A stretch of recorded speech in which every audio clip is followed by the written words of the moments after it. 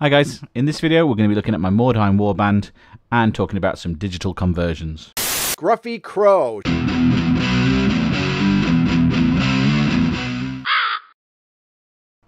So I'm sure for people who've seen my videos before, this won't shock and surprise you uh, to hear that I'm looking at miniatures again for another game uh, that I've not played yet and I've not played in many years. Uh, the reason I've started collecting a Mordheim Warband uh, is because the club just around, the corner from my house, uh, the Leadbelt Gaming Arena, is intending on starting up a regular Mordheim campaign uh, that I'm very keen to get involved with. Um, so yeah, I needed a band. I started off with some cool witch hunters, uh, but they look like they might be heading towards being a popular faction. So I thought I'd try and do something a little bit uh, more obscure uh, that it'd be unlikely anyone else would have. And I always quite liked the idea of the Carnival of Chaos stuff, and I've collected Nurgle stuff in the past. Uh, so I thought that made sense for me. Uh, I scoured the internet. There are no decent Carnival and Chaos uh, models out there um, for, for printing. Uh, there's quite a good set from old school miniatures, um, but they're not necessarily my style. But they kind of fit with the style of the old ones. And obviously, the old Games Workshop ones are worth an absolute fortune these days. Uh, so I came down on creating my own. So that's where we ended up with these guys. These guys are based on the Plague Carnival Blood Bowl team from Punga. Um, so the original models don't have any weapons um, in their hands at all. They've all got bare hand poses. Um, but other than that, they fit that Plague Carnival theme really well. So we've got sort of clowns, sort of jesters, and things like that. So they, yeah, they're a good, good match. So then my challenge was obviously to give them weapons. Uh, first of all, I had a scoot around the internet because I've not built a Mordheim warband for a while, uh, and I saw a list that had a couple of the sort of standard guys, the brethren with swords and shields, uh, one with a bow, uh, a tainted one, and yeah, some a couple of the brutes. So first of all, I started with the list and kind of decided exactly what I was going to require, and then I went hunting for it. Uh, as I said, I had the Blood Bowl team as a base, uh, so that was a good start and then I needed some weapons. Now I'm a big fan of Vae Victis. Uh, they've got some lovely models, uh, and they're definitely doing a lot of amazing uh, Mordheim sort of themed stuff at the moment. So good, in fact, that I almost completely abandoned this project and started collecting some sort of humans uh, or mercenary faction. Uh, but no, I stuck with it. Another thing Vae Victis has is some Gnolls, and I decided that their weapons and sort of shields and what have you, and even actually right down to their hands were just what I needed to get this completed. So then at that point, what I could have done is printed off the circus, printed off the gnoll parts, and done conversions the old ways with a bit of green stuff and knives and what have you.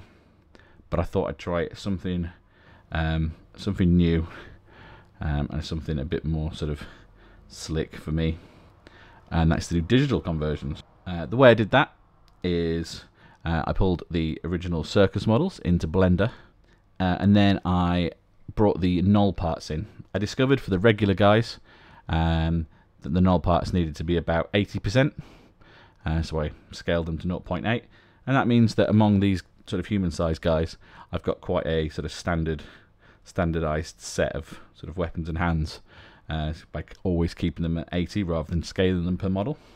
And that has obviously helped as well to keep the shields the same size and things like that by having that standard size.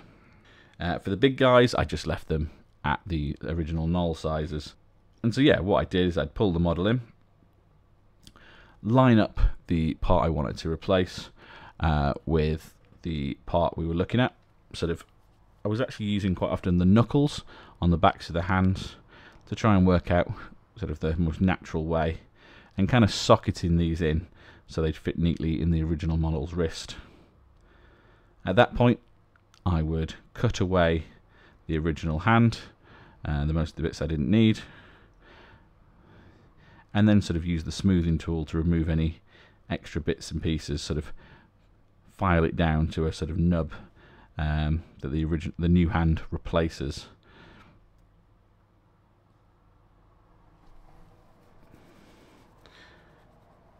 As well as sort of filing down any bits uh, on the new hand that were now out of place as well. Next up, we join the two models together into one mesh and remesh the whole thing. Uh, so it's now one whole sturdy model. I remeshed at 0.05. That seemed to be working for me without losing any of the details on any of the parts. Once that's done, this is just like green stuffing to me actually. I think this, this feels uh, quite natural. We just went in and just smoothed any weird little anomalies or bits that didn't look quite right. And if need be, I can always sort of uh, pump up or sort of gouge out any any bits that we don't like the look of fairly easily. I'm not an expert at using this software whatsoever. A lot of this is self-taught, works fairly naturally. Uh, the biggest challenge for me was just getting the different views right and everything like that. But yeah, just once we got that all nice and smoothed in, um, just exporting it back as an STL again. I'm most pleased with this guy because we managed to get the original pose and I managed to just ever so slightly repose the arm as well um, just so it'd fit this double-handed spear thing. So he definitely doesn't look like a Blood Bowl player now. And I really like this archer as well. He's almost ready for that pose. Very little work done to uh, change anything on the original model. Just swap those hands around and then added a uh, quiver on the back and he I think makes a pretty suitable archer one of the ones that was a bit more challenging was the tainted one uh, I just used the sword as it was out the gnoll kit. Uh, this is the prop version, so this didn't have a gnoll hand on it.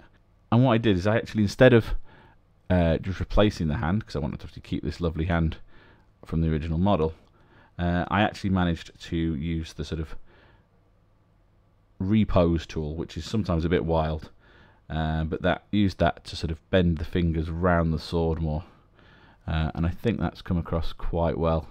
Uh, these are quite fun models uh, with Nurglings spattered all over them.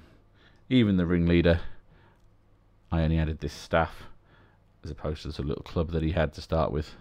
And as you can see, these models are fresh off the printer. I haven't even finished clearing up all of the bits and pieces off them yet. And it is really nice having them come straight off the printer. Uh, I wasn't gluing any of these parts together. I wasn't like, you know, having to construct them or uh, do any conversions after that. The only thing I have done is add them to these bases. Uh, these are from Imitation of Life uh, from the recent Kickstarter. These are just some of the sample ones. I am waiting for the uh, Kickstarter rewards to come out before I can base the rest of these guys in the same bases. But I really like these for Mordheim. I think they're going to look real nice. The only other thing I've added as well is we found these guys. Uh, these were done as poxlings on MyMiniFactory and they fit quite nicely. We've got a little dancing one uh, that either if they meant to or not reminds me of Spaceballs. And we have uh, accordion, and we've got a juggling one as well. And they're quite nice little models. Uh, I'll put links to all the original files in the description um, if you want to build these yourself. Painting wise, obviously I've started on this guy. Um, I think I quite like the green and the yellows that I'm using, which so far is this uh, intermediate green from Model Colour and my, one of my favourites, Averland Sunset. I'm also going to have a bit of a play around with this retro uh, Desert Sulphur Yellow because I think that kind of has that sort of sickly tint, uh, tint to it that could work quite nicely. Uh, so this model is uh, just for me testing some uh, colorings. I said I quite like the trousers and the, the, red and the green, but I'm not sold on how I've done the skin on this one. I think I want paler skin possibly. Uh, so I'm going to keep painting this guy up and just playing around with the colours. I might even end up reprinting them and starting from scratch and just using him to test the scheme. So yeah, as I said, I'm really happy uh, with these guys, especially these two. And because of uh, how well these have turned out, I'd certainly consider doing this kind of conversion again. It was actually quite a lot of fun, kind of addictive, trying to work out how to convert these poses and sort of what weapons to choose for each one. There's still a few more characters left uh, from the Blood Bowl team that I haven't done this to yet. Uh, so as my campaign goes and my band grows, potentially, I can always make a few extra changes. Which is exactly what I have done. As you can see, uh, I've got everybody painted. I've actually had three games now.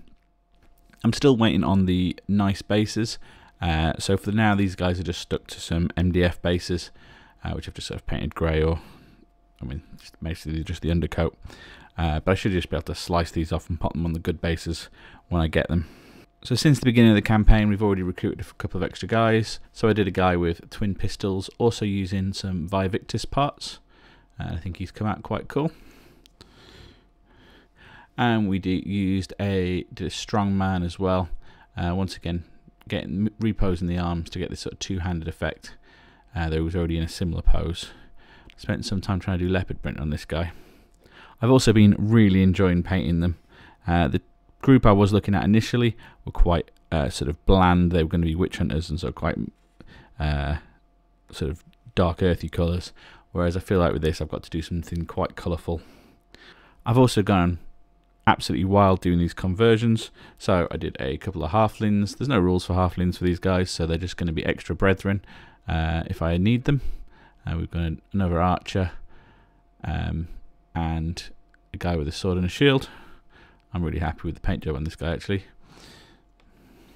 The archer, I couldn't get rid of the Blood Bowl football under his arm, uh, so I just turned it into a Nurgling. We've also started future proofing uh, with some Plague Bearers. Once again, quite happy with the way uh, he's come out, uh, and quite happy with the conversion I did here. Uh, just adding the Jester's hat to a couple of these plague bearers from Duncan's Shadow. The most ambitious conversion I've done so far uh, was this big guy. Could not find a nice plague cart file out there on the internet either. Haven't finished painting this guy, still a work in progress. Uh, but this is a downsized prison cart. I can't remember where that's from if I'm honest. We've added some of the shields. These weren't stuck on after. These are uh, merged into the bars. Um, so there was no sticking required and they're going to be nice and sturdy. We've done a little sort of banner board.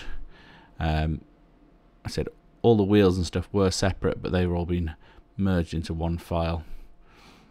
We've added the cheerleaders and beastmen uh, from the Punga set. And we even added a Nurgle logo in here.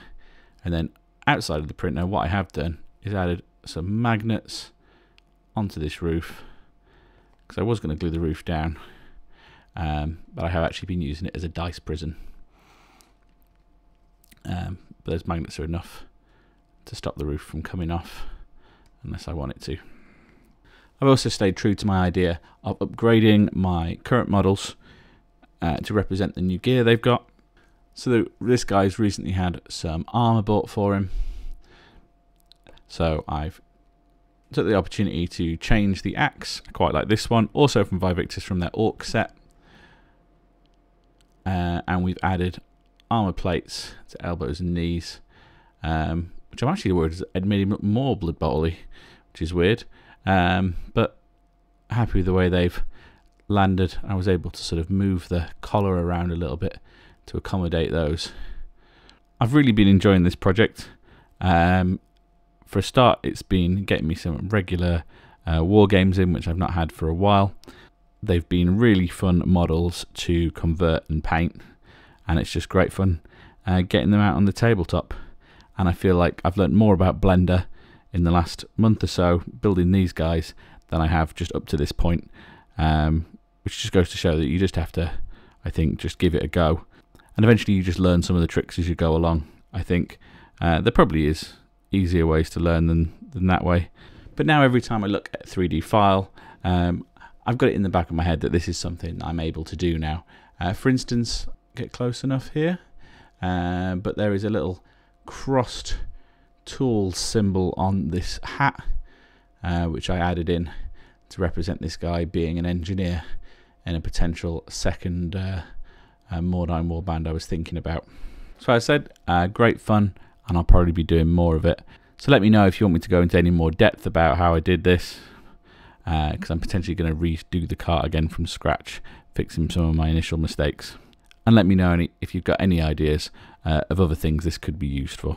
And also, any tips for playing Carnival in Mordheim would be very welcome.